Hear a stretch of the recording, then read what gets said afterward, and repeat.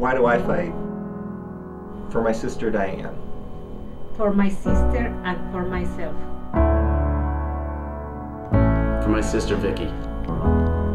For breast cancer survivors like me. For my wife Sue, who is undergoing treatment currently. For me and other African American women.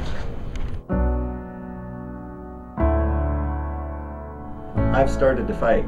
I helped to develop a clinical breast exam training video to teach practitioners how to do a more thorough exam. I ensure our general surgery residents take exceptional care of our patients with breast cancer. I've seen our partnership with Komen provide more than 1,500 breast imaging procedures to those who would have otherwise not been screened.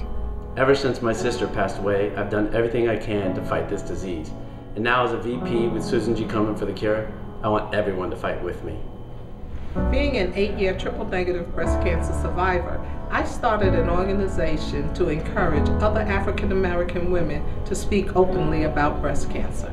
I reach out to the Latina community to help them understand the importance of breast health. As I've listened to breast cancer patients, we realize the journey is hard. We work with our teams to develop the Bing Cancer Center so that the next patient might have it a little bit easier. We can all do something. This year, I'll join Team OhioHealth for Komen Race for the Cure. I'll recruit people from my office and from the Department of Surgery to join Team OhioHealth. I'm going to bring my family for the Family Fun Walk. I've joined Team OhioHealth for the Race for the Cure. Join our fight. Go to KomenColumbus.org and join Team OhioHealth for this year's Race for the Cure.